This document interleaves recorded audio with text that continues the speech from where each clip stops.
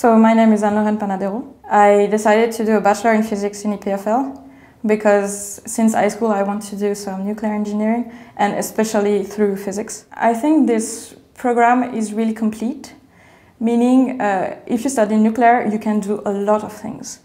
And what I really like about this program is that you have a lot of different lectures, all of them opening a door to one kind of career that is possible for you. I entered this program to do some nuclear energy and I'm passionate about the new kind of reactors, so Gen 4 reactors, uh, fast reactor, and especially all the metal cool reactors.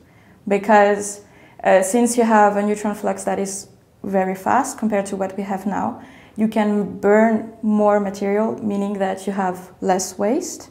The waste you have has a smaller uh, lifetime.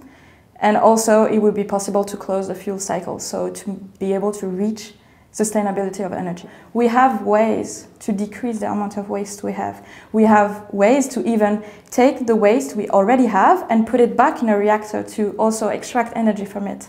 So one just have to give a chance to nuclear. This way we can keep going, decrease the amount of waste, and also decrease the radiotoxicity of waste. That is a concern that everyone has. The program is really intensive. I mean, you have to help each other to be able to survive, let's say, to this program and basically so you work together. I mean our year it was like that. Everyone works together. And in in lausanne so we all had different let's say apartments. Then in zurich we were a little bit closer to each other since we have some student uh, apartments.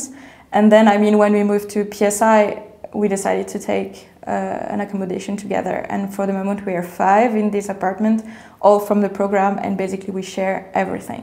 If you if you're really concerned about the new energy challenges that will arise for our generation. If you like to travel, if you want to have an international career, if you're able to have an intensive life that is moving all the time, then I mean, come. The atmosphere is great. The studying is very high level. The ranking of the of the school uh, is high too.